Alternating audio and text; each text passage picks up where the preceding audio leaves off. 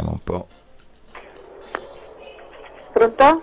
Eh, buonasera signora, sono De Santis, chiamo dall'ospedale di Capua. La signora Giovanna, per favore. Eh, sono io. Eh, signora, buona signora Manna?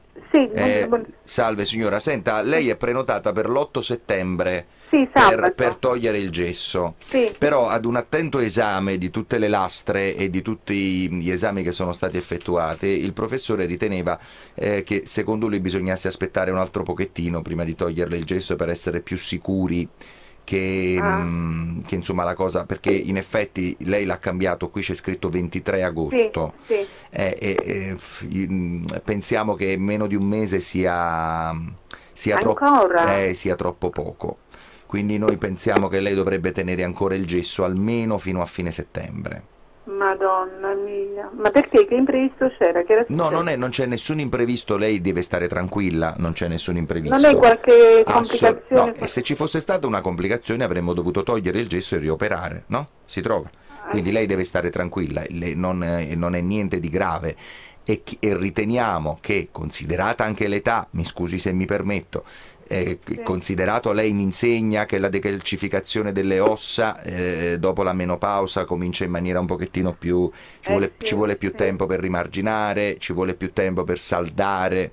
Allora non è che possiamo rischiare che per un mese, un mese e mezzo, massimo due mesi di gesso in più, poi dopo ci troviamo punto e da capo. Allora lei preferisce soffrire altri due mesi o preferisce che poi rischiamo che una storta le possa portare la situazione in maniera che poi dobbiamo rioperare? Ma poi dopo, diciamo, dopo passati questi altri 15 giorni... No signora, un attimo, me- non sono 15 giorni, lei E deve... cioè te- altri 15 giorni, cioè fine, fine settembre, allora. Metà ottobre per essere proprio certi, certi, certi. Niente di meno, fino a... Diciamo che, diciamo che fino al 15 ottobre sarebbe proprio l'ideale. Lei, signora, sia chiaro, può venire qua, mette la firma e si toglie il gesso, eh? Su questo non c'è ombra di dubbio. Però poi si prende tutte le responsabilità di quello che può succedere. Ho capito. Lo so. Eh, devi avere pazienza, però lei deve capire... ehm, Ma poi dopo, diciamo, questo devo fare ugualmente tutta la riabilitazione, Dopo- la dopo-. Dopo, Dopo? comincia la riabilitazione. Dopo comincia la riabilitazione, il dottor Mirra ha già pensato che eh, eh, insomma dobbiamo fare tutto un processo di riabilitazione fatto per bene, lei porterà un tutore, Sì. Porterà un tutore, togliamo il gesso, metteremo un tutore che deve essere fisso, metteremo diciamo i chiodi che sorreggono bene la gamba. Eh, signora, eh, diciamo che quando uno sta intorno ai 60 anni ci vuole un anno, un anno e mezzo per ristabilire proprio tutto com'era. Niente di meno. Lei dovrà fare un po' di riabilitazione anche nell'acqua. Lei ha una piscina vicino casa? No, no, non c'è niente. Io ho il problema pure che sono sola e, Eh, e infatti adesso sto a casa di mio figlio, diciamo, tutto questo periodo. Signor, però se piange eh, mi fa sentire male, io la voglio aiutare, Lo però so, lei... va bene, non, Lei non, de- lei non deve piangere, signore, lei deve essere forte. Eh, Eh, lei è mamma di figli, lei ha cresciuto i figli, io mi permetto di parlare perché potrei no, essere bene, suo figlio. questo Lo so, perché poi capi- no, vabbè, queste sono cose, diciamo... No, ma si apra, signora, non, ci- non si preoccupi. eh, se- No, è perché io sono sola, lavoro, Eh, so, i figli miei diciamo che sono sposati, anche loro hanno problemi. Eh. Ma ad esempio c'è la moglie di mio figlio che deve partorire, Deve quindi... part- infatti Belle, beh, è una gioia, arriva un nipote, signore, è una gioia, lei Sì, sta ma così. Non posso, non posso stare qua, perché capito? Ci sono tanti problemi. A casa dell'altro non posso stare perché lavora marito e moglie, vanno la mattina e vengono la Eh, sera. beh, quindi signora, io da sola eh, non e vogliamo farci, vogliamo Sì. vedere se il dottore trova una struttura per anziani dove vi, vi mettiamo, diciamo, vi parcheggiamo nel... Eh, Io sto pure lontano, poi abito, non abito nemmeno nelle zone dell'ospedale. E dove... Ah, Eh, vabbè. io abito a Casandrino, a figurate. Casandrino. Eh beh, tro- Eh. ci sta quella struttura da Versa che non è lontano da Casandrino, è una struttura per anziani. Eh sì, ma non... eh, No, non...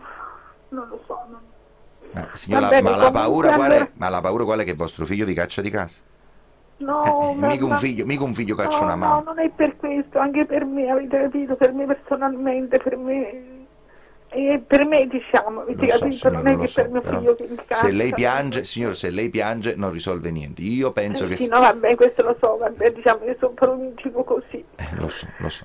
Lei Perché poi il lavoro poi non è che diciamo è lavoro che ho uno stipendio, non è che lavoro diciamo in eh, faccio sto in casa di una signora che la faccio compagnia, Certo. non guadagno nemmeno diciamo quello guadagno quel minimo necessario diciamo per vivere io e, Sì, vi chiedo scusa. capito? Mi facete piangere pure a me, però si facete così, mi sente.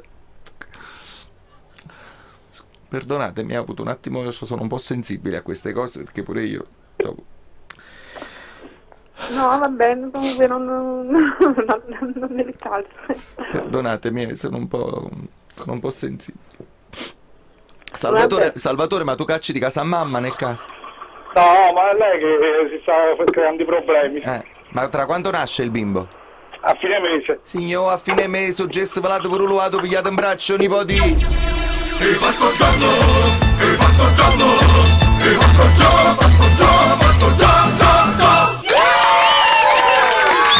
Giovanna!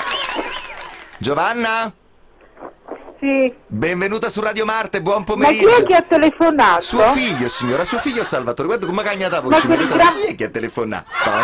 Salvatore! Dimmi Fabio. Spiega a mamma che succede. Ma è tutto uno scherzo. Vabbè, lo sai che poi... Ma sai cosa tu tu vuoi fare questi scherzi oggi? Hai cercato proprio il tipo adatto, eh? Cretino proprio, che stasera ti chiama. Guarda che- Tony, l'uomo Mi chiama Maria, eh? tra, tra mamma e figlio non mettere il dito, a così ero fatta.